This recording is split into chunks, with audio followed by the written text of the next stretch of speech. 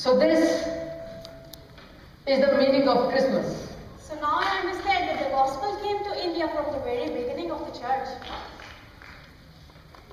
One, two, three, one.